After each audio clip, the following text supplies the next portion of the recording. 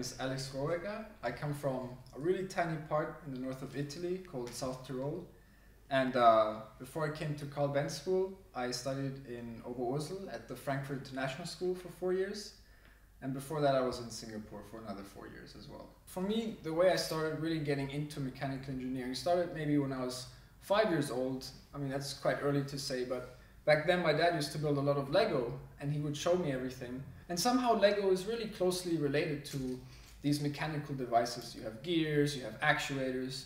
And so I felt really in love with this kind of creating solutions using anything that I could find. And another thing that I would say really influenced me uh, to study mechanical engineering is that me and my dad had a small little racing team with cars that uh, were this big and they were driven using uh, proper engines. So there was another kind of contact I had that really prompted me to go along this course of mechanical engineering. In the end, it came down to several different reasons why I chose Carl Benz School. I originally also applied to England, but after visiting the Carl Benz School, first of all, I really liked the location in Karlsruhe. It was very quiet, you feel kind of separated from the city, but then again, you're very close.